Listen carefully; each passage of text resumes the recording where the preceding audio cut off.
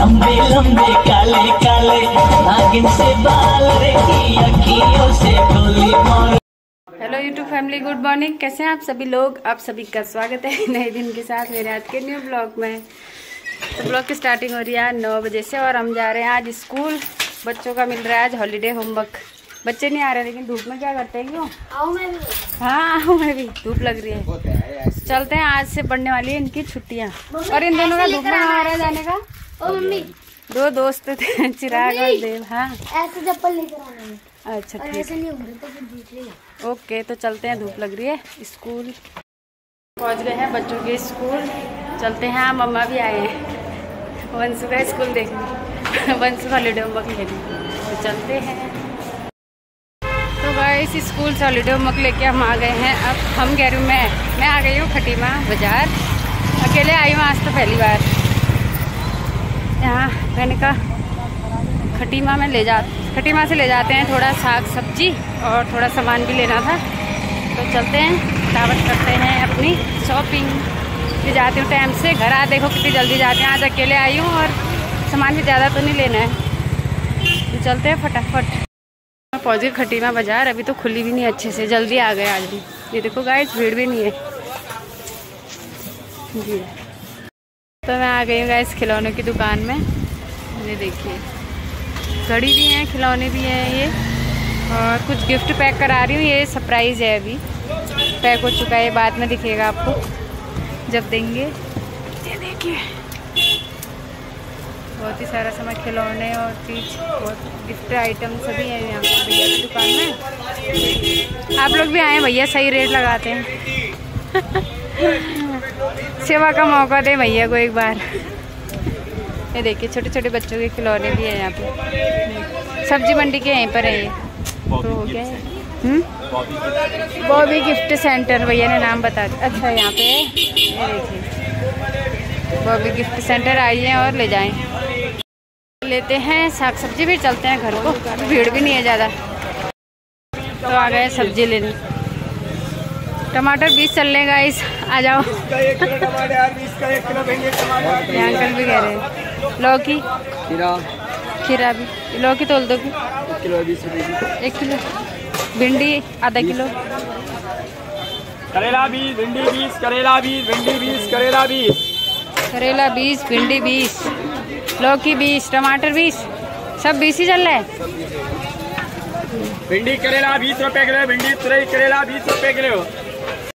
तो गैस घर जाने की भी हो गई तैयारी टाइम से ही कुल्फी खाते हुए। और भीड़ भी नहीं आज तो बिल्कुल। क्योंकि मैं आई जल्दी भीड़ नहीं है लेकिन गर्मी धूप इसलिए टाइम से ही चलते हैं घर को। ये देखिए खटीमा बाज़ार में बिल्कुल भीड़ नहीं है। आ गई हूँ खटीमा से अब हाँ टाइम से ही आ गई ग्यारह बजे। एक घंटे में घर नहीं तो तो शाम हो जाती थी। और यहाँ पर है बच्चों का ये जहाँ पर खेलते हैं बच्चे फुटबॉल गुरुद्वारे के यहाँ पर ये है फ़ील्ड है यहाँ पर खेलते हैं। चलते हैं पैदल पैदल धूप में पैदल यात्रा। इतनी धूप लग रही है ना। पहुँच गई गई इसमें घर।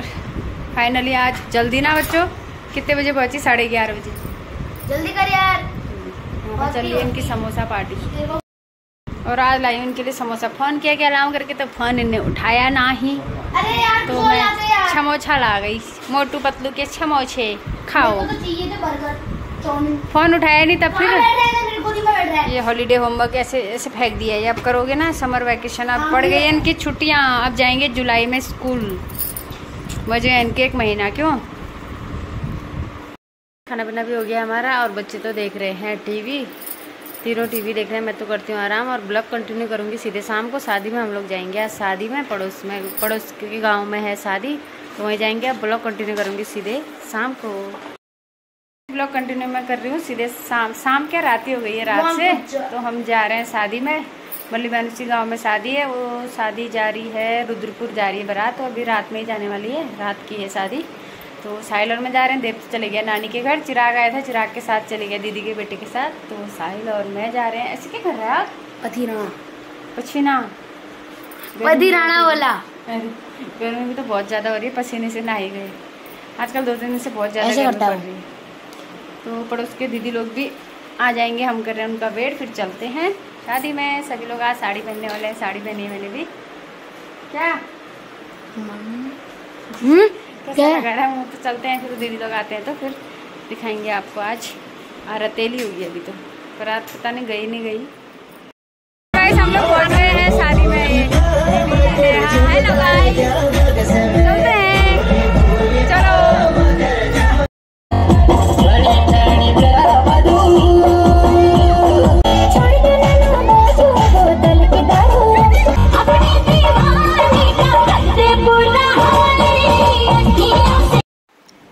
यहाँ पर शुरू हो गई थी रतेली दीदी लोग, दो दीदी लोग, एक टी शर्ट और लोवर पहन के आए थे और एक दीदी पहन के आए थे। दीदी है, चाची है, पता नहीं, वो पहन के आए थे। फ्रॉक सूट तो दोनों ने बहुत ही अच्छी कॉमेडी की रतेली में। हमारी पहाड़ियों में ये संस्कृति हुई, हमारे में कि कॉमेडी भी करते हैं रतेली करते हैं ये। बहुत अच्छा लगता है ये रतेली में, सभी लोग।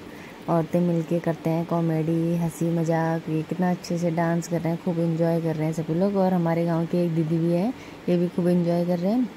हमारे गाँव के सभी दीदी लोगों ने भी खूब डांस डांस किया था और इंजॉय तो गाइस यहाँ पे चलने लग गया था फ़ोटो शूट ये लोग फ़ोटो खींच रहे थे और मुझसे भी कहते फ़ोटो खींच दो। तो मैंने बना दिया इनकी वीडियो मैंने ले लिया ब्लॉग में। तो एक संध्या वो तो चले गए थे उधर को और बाकी दीदी लोग बोल रहे थे ब्लॉग में ले रही है करके। फ़ोटो नहीं खींच रही है तो मैं फिर खींचने लग गई थी इन सभी की फ़ोटो। और यहाँ देखिए, भीड़। ये कूलर इतने बड़े बड़े तो यहाँ कूलर ही लगे थे। गर्मी से राहत मिल रही थी। तो अब ये दीदी बोल रही थी, मेरी फ़ोटो भी खींच देना तो तो ब्लॉग ही बनाएगी। तो फिर ये दीदी थी यहाँ पर फ़ोटो खींचने के लिए तैयार हो गए थे। ये देखिए, इनकी एक ग्रीन सूट और पीछे ग्रीन के तो मैच कर रहा था।